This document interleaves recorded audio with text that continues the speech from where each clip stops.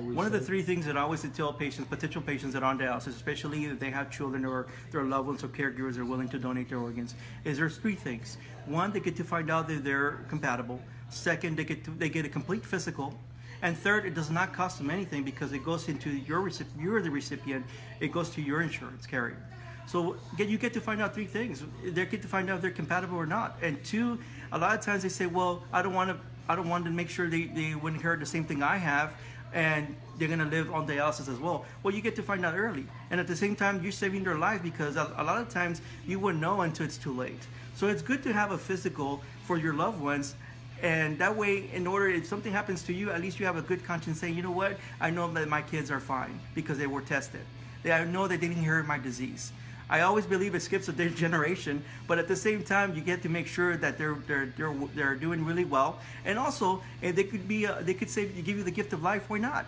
Let them do that. Allow them to give you the the, the uh, gift of life. I encourage you to talk to them. I encourage you to have that that talk to them and say, look, if you're willing to do that for me, you would what would you do? You make wonders. You get to see your grandchildren. You get to see maybe walk the aisle to your daughter when she marries all those things come into mind. All the things come into play. We don't want you to leave this world without knowing that there's an opportunity there for you. Ask them to be your donor. Thank you. Please help my dad find a kidney donor by sharing this video.